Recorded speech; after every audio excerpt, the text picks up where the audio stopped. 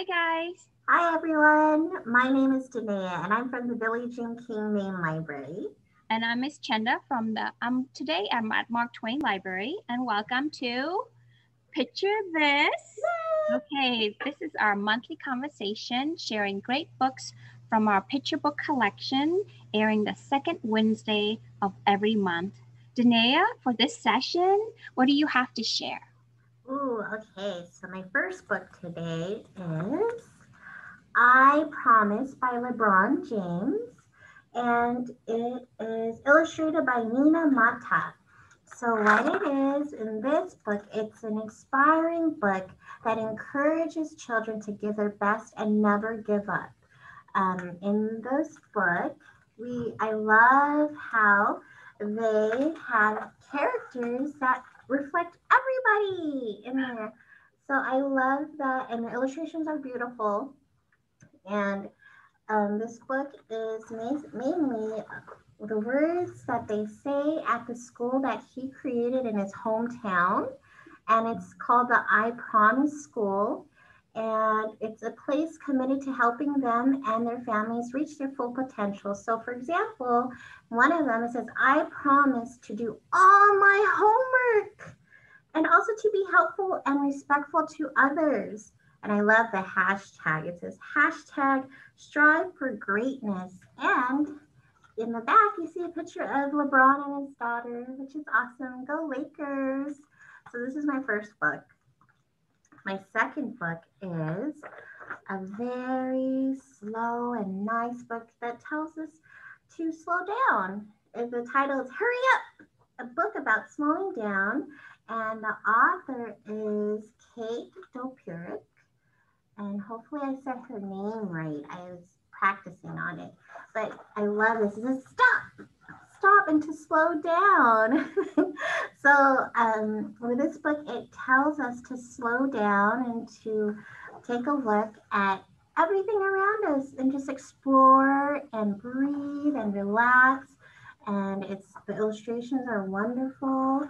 So if you are wanting to find a book to kind of just relax and slow down, this is the one for you. So those are my first two books. What about you, Chenda? Well, those are great books. I like the slowing down one because with the um, holiday coming up, I'm excited about the holidays, but I'm also a little worried this year. Um, this book I'm sharing is I'm Worried by Michael Ian Black. And it shows a little potato that says, I'm worried. And it goes on, the little girl asks him, What are you worried about? About the future and then what are what are you worried about the future? Is that bad things will happen. But then the little girl and the little the pink flamingo um, reminds um, the potato that you know bad things happen but over time they turn out okay. So you have to just talk about what's worrying you and what's the bad thing that you're worrying about the thing of living in the now because you know the future will just you're just gonna happen and just enjoy the now. And then there's little potato trying to talk after you talk about what's worrying you and what bad thing have passed. And then you just enjoy the now is the better way than worrying about the future. So it's a really cute book to talk about our feelings and what's worrying and what's stressing to little ones and yourself too and the good practice is also to write it out if you're worried about something so you can talk about it with each other. And then another way to kind of like get rid of my worries is to try to sing silly dilly um, Christmas songs this year. Is Where Did They Hide My Presents by Alan Katz and David Catrow. It's a really cool book and it's just um, taking um, new lyrics um, and singing it to the tune of a traditional Christmas song. Like this one, it's Our Friendly Mailman to the tune of Frosty the Snowman. It goes like, Our friendly mailman has a big bag, bag on his back with a billing cards and some packages twice the size of Santa's sack. So it's really funny, and you can make up your own lyrics too. Like this one at the mall to the tune of Deck the Halls At the malls, no parking spaces. Mama, mama, mama, can we go home? It's really funny. So I hope you guys check this out and take time to just enjoy the now. And what about you, Danae? What do you have? What else do you have? So I have two more books um, to talk about. Um, and this, the, this book is called, titled You Matter by Christian Robinson. It's another inspiring and encouraging book that uh, lets, reminds you that you matter, that even when something is out of reach, you see the Tyrannosaurus Rex's arms, or when everyone is too busy to help, you matter. So I love this book where um, it about certain feelings or situations, and it reminds you that you still matter and nothing, um, nothing, nothing will stop. Even if you fall down, this is really sweet. And then if you have to start all over again, this is a great book to encourage you to let remind you that you matter. And this one I love, and it's called Can I Give You a Squish? And it's by Emily Neilson. So this is a mer boy. His name is Kai, and he loves to give hugs to everyone. And this little fellow right here is a pufferfish and who's shy. So one day Kai gave him a hug and he did not like it and he puffed up so big and Kai was so he felt so bad that he like made him feel um made him feel bad. So what he did, his friend, the crab said, don't worry, maybe there's something else you can give besides a squish to show that you want to be friends. So they made up certain handshakes and they made a fin bump. so fin bump and then, well, the squishy fish or the puppy fish really loved it. And in this book, it even shows how like each of the friends have different types of handshakes that they like. And I loved how the author, if you read it in the excerpt over here, it tells you that the author um, is introducing children to the important topic of consent in a light-hearted uh, way. So I thought this was really cute. And you don't really get to see a lot of little mer boys. So it was mm-hmm. really sweet. Um, if you want to read this book, please check it out. And it's by Emily Neilson. So those are the other two that I have. And I have another two, but I want, what about you, Chenda? Do you have any other books to share first? Yeah, I do, but I really like that um, that Merboy books because you know sometimes it's always nice to practice before you give somebody a hug that you've never met before. They don't know. You can ask, "May I give you a hug?" or "Is it okay?" And then over Zoom, we can always do the the finger kind of wave to each other. There you go. Hi. That's our that's our virtual hug, our virtual fist bump also. Yay! And so the the the um the other two books I have is Annie and the Wild Animals by Jan Brett. Do you want to share my books?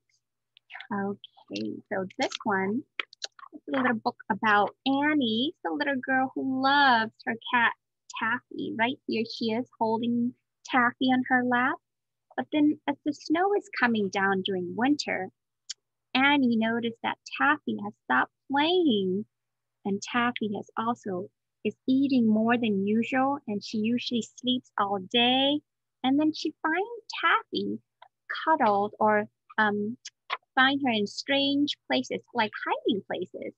And when one morning Annie could not find Taffy anywhere in the house, she's feeling lonely. So she decided she needed to make a new friend. And she made some corn cake and but she leaves it outside. And all these winter different winter animal comes by. There's a bobcat, there's a bear, but can you really make friends with those animals? Not very likely until spring comes along and then Annie cannot make any more corn cakes.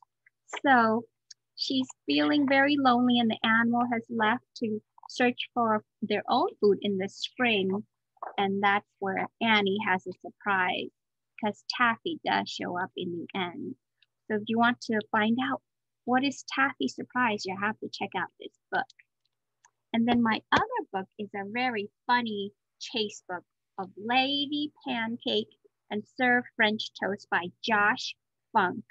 It's really funny because Lady um, Pancake and Sir French Toast were friends and they were living in the refrigerator deep in the fridge and behind the green peas way past the tofu and left of the peas up in the corner and back by a roast that lady pancake and besides Sir French toast until Miss Brie comes along and says, oh, you know what, there's only a single drop left of the syrup. And instead of friends, they became competitors and they the chase has begun and they gone, they leap and they jump and they fly off the shelf in the refrigerator trying to get to the last drop of syrup. And at the end, you see the different section of refrigerator with all the different food and stuff. And that's a really funny food chase if you like to read fast. All right, so I hope you enjoyed that one. But this is the first book of the series. There are other books within the series. So if you want to, Miss Danae is going to show us how we can find other books of this by uh, in this series by the author Josh Funk. You want to show us? Sure, I'm going to share the screen. So I'm going to show our catalog and I'm going to do a keyword search. So the keyword, I'm just um, going to take like a couple words out of the title. So I'm going to type in lady pancake and we're going to see what comes up with that. And there you go. It shows us the books in the series and which is and this one lady pancake and sir french toast is the one that chenda was showing us mm-hmm. and if you want to request it all you have to do is just click on the request button mm-hmm. oops i didn't log in but if you click on the request button you'll be able to um, order it and make sure you send or pick it up at a library that's open for curbside pickup Mm-hmm. And also, if you enjoy the books that uh, Josh Funk has written, you just click on the author and you will see a list of books that we have in our system that um, have been written by him. So we have many books actually. So we have so much to enjoy. So that is how you can find more books by the series or even by the author. Okay, so I'm going to stop sharing request the book to um, pick the library that's open for the to go so you can pick it up. And also um, the holiday dates are coming up so um, we're going to be closed longer for christmas. We're going to be closed um, christmas day. So make sure you get your books all before um, christmas um, holiday closure this year. Do you have other books to share? I do. I actually have two more books that i want to share with everyone and my first book is Kugel for Hanukkah. And I'm going to, okay. So Kugel for Hanukkah is a book about a young girl. For every night on Hanukkah, she um, gets a present. So she is wanting an animal every night, but she keeps getting unusual presents. So for example, one of the nights she and she was like, oh, she's like, I thought I might get a teeny tiny hamster, but she ended up getting a branchy plant. So each night she keeps getting like weird presents, but then in the end, there's a reason why. So this is a really fun book um, that is a story about Hanukkah and the family is really sweet. And also in the back, there's a recipe for kugel. Um, and if you can tell, that's actually the title underneath the barcode. Um, and this is kugel. It's a picture. So this is uh, kugel for Hanukkah. And kugel is actually a casserole. So you can either make it out of potato or noodles and it can be either sweet or savory. And Hanukkah, this is actually, um, Hanukkah is, means in, um, means dedication in Hebrew. and in the Jewish holiday, also known as the Festival of Lights or the Festival of Dedication, and it represents joy. It is celebrated on the 25th day of the Hebrew month of Kis- Kislev.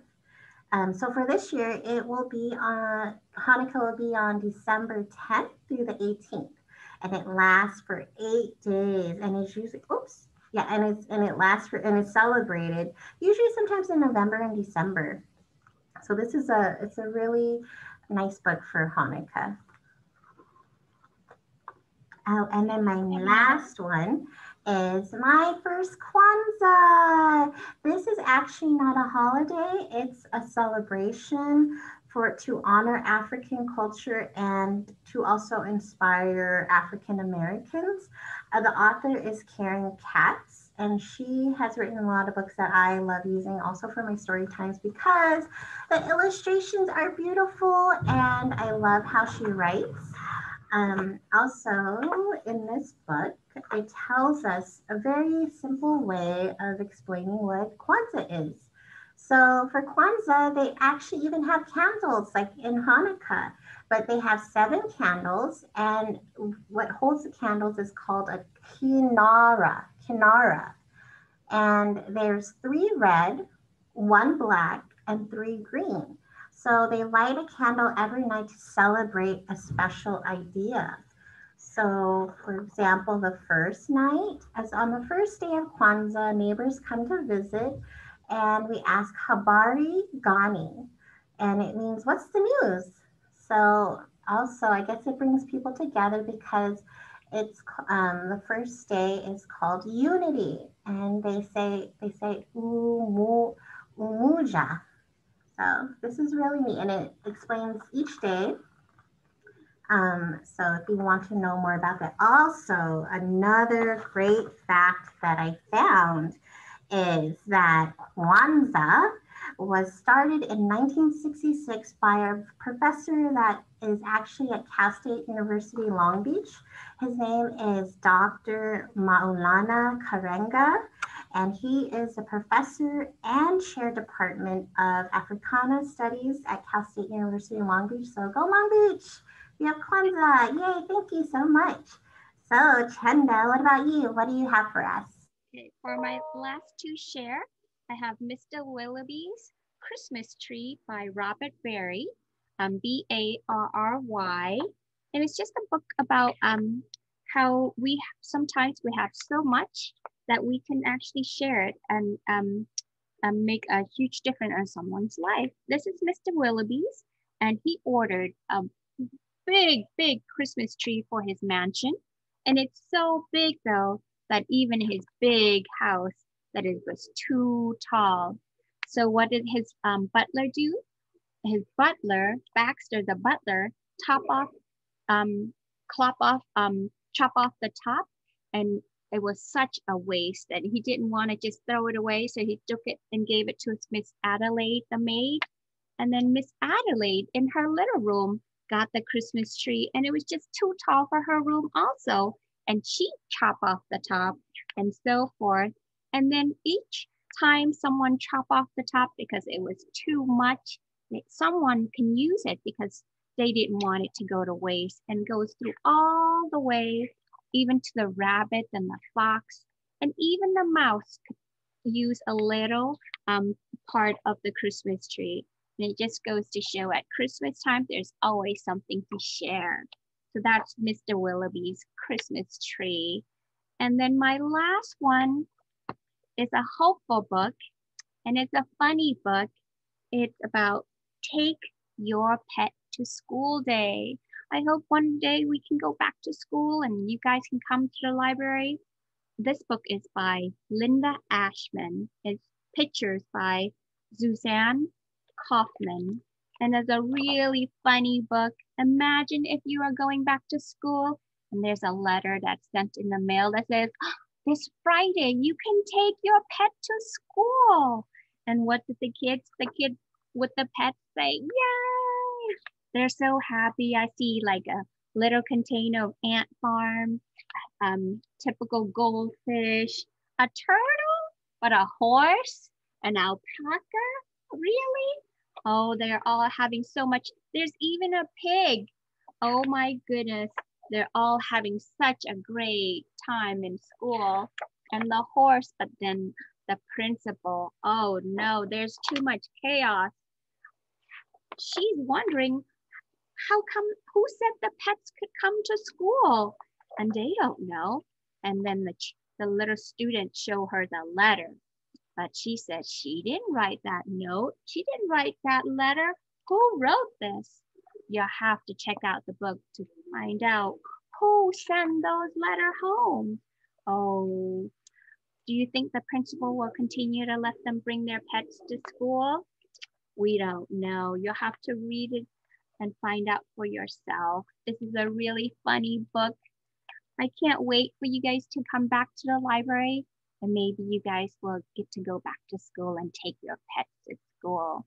But we're doing Zoom um, school, um, homeschooling at home. Do you guys have get a chance to show your pets at home? Danae, if you can go take a pet to school, what would you take?